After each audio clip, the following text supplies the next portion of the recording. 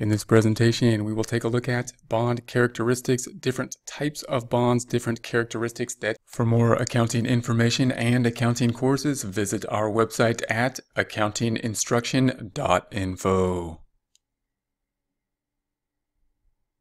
Bonds can have. First, we're going to take a look at secured versus unsecured bonds.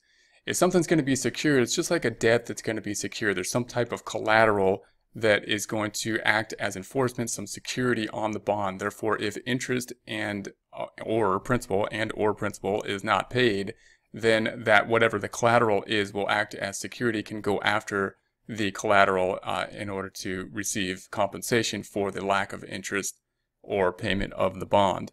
If something is not secured, if it's unsecured, then we really only have uh, the credit of of the uh, payer on the line here. Nothing else can basically be going after in terms of assets that have been assigned as collateral or security on the bond. Clearly, the point here is that a secured bond is going to be more secure uh, than an unsecured bond. So if of the two bonds, the secured bonds you would think would have higher value due to uh, the security, due to the collateral backing up and supporting the value of the bond. Then we have term bonds versus serial bonds. Term bonds basically generally have just one date in which it's going to mature. The bond will mature at a specific date.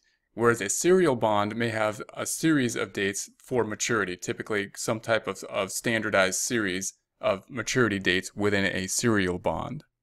Convertible bonds are a type of bonds that can be exchanged for a fixed number of shares from the issuing company's common stock. So in other words, we can convert the bond to some type of fixed share, some fixed number of shares of stock within the company.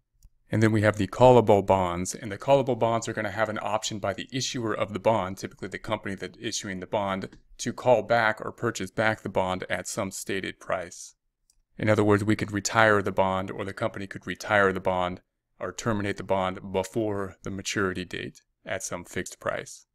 For more accounting information and accounting courses, visit our website at accountinginstruction.info.